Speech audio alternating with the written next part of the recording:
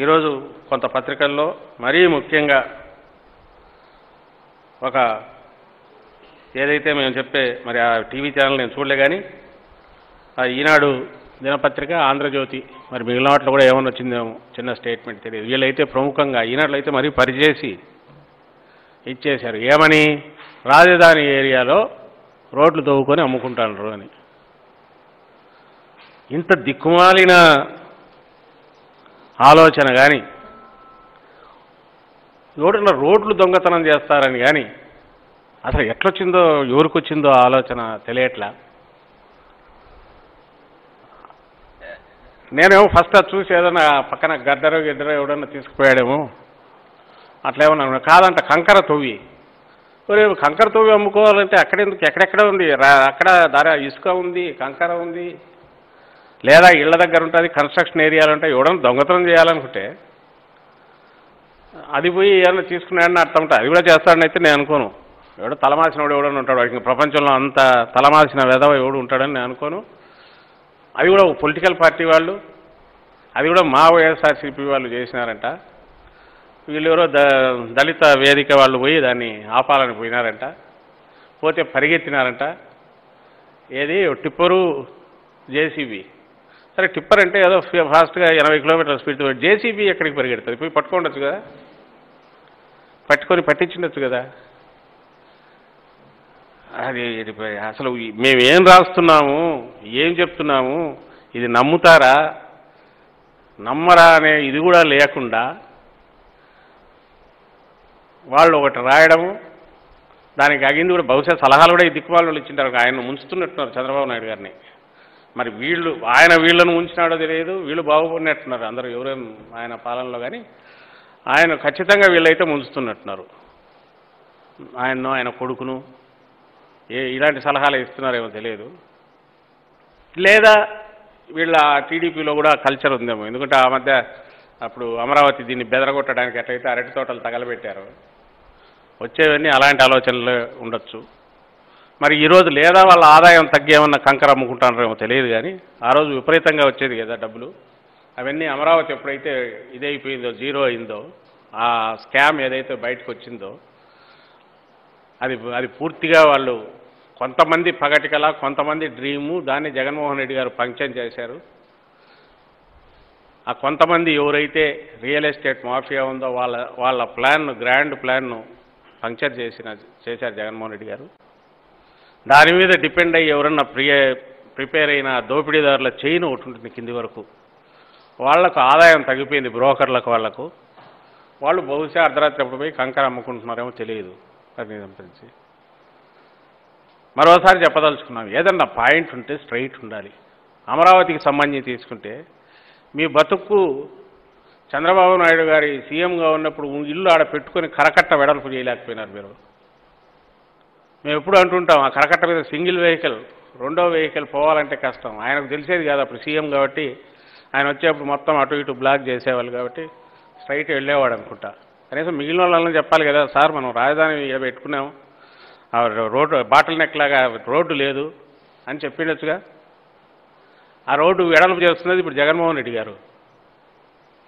అమరావతి మీద అది రాష్ట్రంలో భాగం నష్టపోయారు. చంద్రబాబు నాయుడు పన్నాగాలకు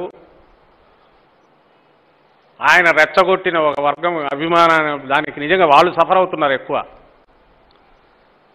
అర్ధరాత్రి ఇది పోయి ఎక్కడలేని ప్రెజర్ తెచ్చి వాళ్ళను ఎట్లా చేసినారో ఇది ఈ ప్రాంత ప్రజలందరికీ తెలుసు. భూములు ఎట్లా రాయించుకున్నారు ఎట్లా ప్రలోభ పెట్టారు ఎట్లా భయపెట్టారు. ఈవెన్ వాళ్ళని ఎట్లా భయపెట్టారు తోటలు ఎట్లా తగలబెట్టారని చేసింది అన్నీ చేసి నష్టం చేసి అసలు పోనీ అంతా చేసి అక్కడికి పోవాలంటే ముందు రోడ్డు వెడల్పు ఉండాలనే విషయం ఆలోచన. అది కూడా ఆ మాత్రం ప్రాథమిక ఇంగిత జ్ఞానం లేదా బిజినెస్ ప్లాన్. వాళ్ళు చేయాలనుకున్న రియల్ ఎస్టేట్ స్కామ్ అది చేయాలనుకున్నా కూడా ముందు ఎవడో రియల్ ఎస్టేట్ బోగస్ కట్టేవాడు కూడా ముందు పెద్దది ఇది ఆర్చి ఇచ్చి పెడతాడు. బట్ హండ్రెడ్ ఫీట్ రోడ్ వేస్తాడు ఫస్ట్. మళ్ళీ ఆ తర్వాత ప్లాటింగ్ ఎట్లన్నా ఉండొచ్చు. ఆ మాత్రం కూడా చేయలే వాళ్ళు కరకట రోడ్డు కూడా వెడల్పు చేయలే. చే ఇప్పుడు చేస్తున్నది మా ప్రభుత్వం చేస్తుంది జగన్మోహన్ రెడ్డి గారు చేస్తున్నారు. అలాగే వాళ్ళ కౌలు పెంచింది ఎవరు? ఒకసారి తలుచుకోమనండి. రైతులకు కౌలు పెంచింది పీరియడ్ ఎక్స్టెండ్ చేసింది. ఇప్పుడు ఆ కాజాకు అక్కడికి రోడ్డు కలుపుతూ త్వరగా పూర్తి చేస్తున్నది. కనెక్టివిటీ ఇవన్నీ ఎవరు చేస్తున్నారు? జగన్మోహన్ రెడ్డి గారు కదా. ఏదైనా అనే ముందు కాంక్రీట్గా ఎస్ ఇదిగో ఇక్కడ మీద పొరపాటు. ఎస్ రా రాజధాని ఇక్కడ నుంచి మారుస్తున్నారు మాకు నచ్చలేదు. చెప్పండి పర్లేదు. మీ మీ మీ పాలసీలు మీకున్నట్టు మీ రాజకీయంగా మీ పార్టీకి మీ పార్టీ అధికారంలోకి వచ్చింది మీకున్నట్టు లైన్ ఆఫ్ థింకింగ్ ఉన్నట్టే మా పార్టీకి ఉంటుంది మా నాయకుడికి ఉంటుంది. నువ్వు అధికార కేంద్రీకరణ అనుకున్నావు అధికార కేంద్రీకరణ కూడా ఒక ప్రాంతంలో కాదు నీ జోబులో అనుకుండాలనుకున్నావు ఆ పేరుతో లక్షల కోట్లు మింగాలనుకున్నావు దానికి తగిన కుట్ర అంతా పూర్తి అమలు చేశావు అందరినీ ముంచావు ఎకానమీని మొత్తం చిన్నాభిన్నం చేశావు.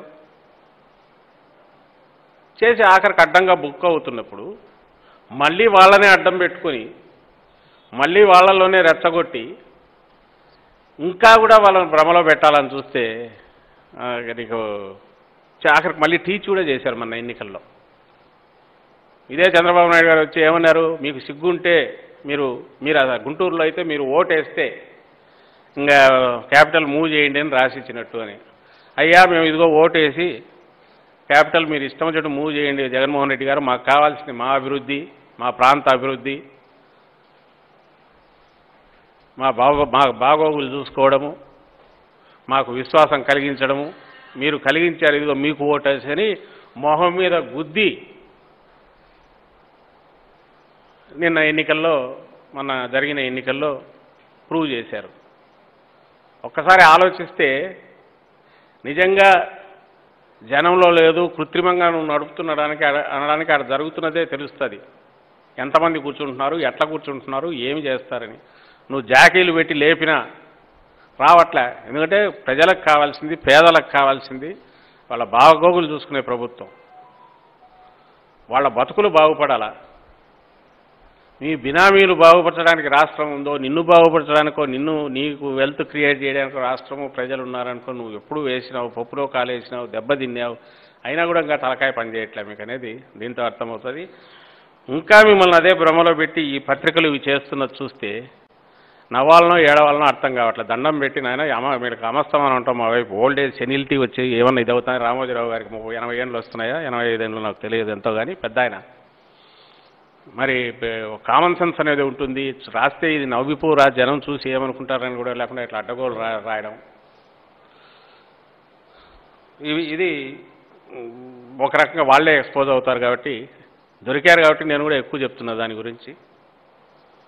దీనివల్ల ఏం ప్రయోజనం ఉండదు. ఇంకోసారి మాకు ఇదిగో తన్నించుకోవడం తప్ప. మేము మళ్ళీ అంటాము ఎదురుగా ఇదే. ఎస్ నిజంగానే మీకు ఏదైనా ఉంటే చెప్పండి మీరు ఆ రోజు చేసింది ఏంది? ఈరోజు జగన్మోహన్ రెడ్డి గారు ఎక్కడ నష్టం చేస్తున్నారు? ఖచ్చితంగా మీ నా మీ వందల కొద్ది వందల మందో లేకుంటే పదుల్లోనో వందలలోనో లక్షల కోట్లు సంపాదించుకునే వాళ్ళ అనుకున్న వాళ్ళ పగటి కళలు చిన్నాభిన్నం చేశారు జగన్మోహన్ రెడ్డి గారు. అది తప్పైతే తప్పే చేస్తున్నాం.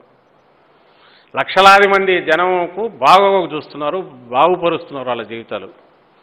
అది వాళ్ళు గ్రహించారు కాబట్టి మొన్నటి ఎన్నికల్లో అంత మంచి ఫలితం మాకు ఇచ్చారు అందులోనూ మీరు మీరు బెదిరగొట్టిన మీరు మీరు సిగ్గు ఉంటే మీరు అట్లా చేయరన్నా లేకుంటే మీకు సిగ్గు లేదని తిట్టినా నువ్వేమన్నా అనుకో స్వామి నిన్ను నమ్మి ఇన్నాళ్ళు మునిగినామని చెప్పి రిజల్ట్స్ చూపించినారు. ఇంకా అయినా తలకెక్కకపోతే మీ కర్మ. సో ఈ రెండింటితో పాటు గత నాలుగైదు రోజులుగా వీళ్ళు ఎక్కడ అంటే అక్కడ ఉద్యమం చేస్తున్నారంట. ఇంతకుముందు ఇళ్ళలో కూర్చొని చేసేవాళ్ళు. రోడ్లు గుంతలు ఉన్నాయని మొక్కలు నాటుతున్నారంట. మరి ఆ గుంతల్ని మీ హయాంలోంచి పడుతున్నాయి స్వామి. టీడీపీ హయాంలోంచి కూడా మీరు ఎప్పుడు పట్టించుకోలే మేము పట్టించుకుంటున్నాం ఇప్పుడు. టీడీపీ హయాంలో నుంచి పడిన గుంతలను మీరు ఎప్పుడు పట్టించుకోలే ఈరోజు జగన్మోహన్ రెడ్డి గారి ప్రభుత్వం వాటికి సంబంధించి శాశ్వతంగా ఎవరి ఇయర్ కూడా రిపేర్లకు వాటికి సంబంధించి ఇది పెట్టడం కోసమే రెండు వేల కోట్లతో టెండర్లు పిలిచింది. దానికి సంబంధించిన వర్క్స్ మొదలవుతాయి.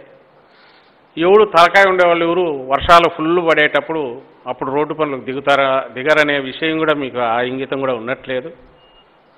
లేదంటే ఎలాగో రేపు ఈ నెక్స్ట్ మంత్ ఈ వర్షాలు అయిపోయినప్పుడు మొదలవుతావు కాబట్టి మనం ఈలోగా ఉద్యమం చేస్తే ఇదిగో మా దెబ్బకు జగన్మోహన్ రెడ్డి గారు దిగి చెప్పుకోవడానికన్నా ఉండాలి కానీ అసలు నవ్విపోతారు. లక్ష సార్లు చెప్తున్నాం. మీరు మీ పార్టీ రెండేళ్ళ క్రితం అధికారంలో ఉన్నారు. అంతకుముందు అధికారంలో ఉన్నారు. మీ నాయకుడు చెప్పుకుంటున్నట్టు పద్నాలుగేళ్ళు ఆయన. తొమ్మిది ఐదు పద్నాలుగేళ్ళు ముఖ్యమంత్రిగా పనిచేశాడు. మీకు ఒక హక్కు ఉండదనే విషయం గుర్తుంచుకోవాలి. ఏ హక్కు అంటే టీడీపీ వాళ్ళకు నోటికొచ్చినట్టు ఎప్పుడు అధికారం దగ్గరికి రానో లేకుంటే ఓ యూనియన్ లాగానో ఒక శాశ్వతంగా అపోజిషన్లో ఉండే పార్టీనో వాళ్ళు డిమాండ్ చేసినట్టు చేసే హక్కు మీకు ఉండదు. మాకు కూడా ఉండదు రేపు. ఎందుకు ఉండదంటే నువ్వు రూల్ చేసావు టక్కున ఇమ్మీడియట్ అదే గుర్తొస్తుంది. పోలికి వస్తే సరే ఆయన జగన్మోహన్ రెడ్డి గారు చేయట్లేదు అంటున్నాడు వీడియో ఏం చేసినాడని. ఏం చేసినాడు చూస్తే మొత్తం దోచుకోవడం తప్ప ఇంకేం చేయలేదని కనపడుతుంది. ఇట్లా చిల్లర వేషాలు ఆ రోజు మేము వేయలే. ఆ గుంత దగ్గర పోయి చెట్టు పాతడం అంతేగింటే వాటిని చంద్రన్న గుంతలు అనాలేమో మా గుంతలు కాదు మీ గుంతలు. అయితే మా జగన్మోహన్ రెడ్డి గారు ఏం చేస్తున్నారంటే వాటికి పర్మనెంట్ ఒక మెకానిజం ఏర్పాటు చేశారు. గతంలో ఎప్పుడు లేనట్టుగా ఆ రిపేర్లకు వాటికి ఓ సెస్ వేసి దాని మీద కూడా మళ్ళీ ఏడుపు. నువ్వు సెస్ వేయకూడదు. సెస్ వేయకూడదు ఇంకోటి చేయకూడదు. మేము సెస్ వేసి జోబులో పెట్టుకోవట్లే. జనం తిరిగే రోడ్లు వీటికి వాడుతున్నారు. దానికే కరెక్ట్ దానికే వెళ్తుంది. దానికోసమే పెడతారు. దానికోసం ఫండ్ క్రియేట్ చేస్తున్నారు. దానికోసం వచ్చిన దాన్ని ఆ రోడ్ల రిపేర్లకు వాడుతున్నారు. అది చూస్తుండండి. అవుతాయి. ఈ మాన్సూన్ అయిపోగానే మొదలవుతాయి. సో ఆ ప్రాసెస్ కూడా నడుస్తుంది మీకు తెలుసు అందరికీ తెలుసు. మీకు చంద్రబాబు నాయుడు గారు మీకు ఉద్యమాలు చేయడానికో ఇంకోటి చేయడానికో మీకైతే మేము ఎప్పుడు అవకాశం జగన్మోహన్ రెడ్డి గారు ఇవ్వరు. ఎందుకు ఇవ్వరంటే మీ ఆలోచనల కంటే ముందుగా ఆయన రెండు అడుగులు ముందుగా ప్రజల సమస్యలు ఏవేవో తెలుసుకొని వాటిని పరిష్కరించడానికి ముందుగానే ఉంటారు. ఎందుకంటే మేము ప్రజల్లో నుంచి వచ్చిన పార్టీ ప్రజల్లో ఉంది. సో వాళ్ళ అవసరాలు ఏవో తెలుసు. ఎక్కడ పొరపాటు జరిగితే కరెక్ట్ చేసుకోవడానికి అత్యంత సెన్సిటివ్గా ముందుకు ప్రతిస్పందిస్తాం. పరిష్కరించడానికి ట్రై చేస్తాం. చేయడానికి డిలే అయితే అది చెప్పడం చెప్తాం. కన్విన్స్ చేసుకుంటాం.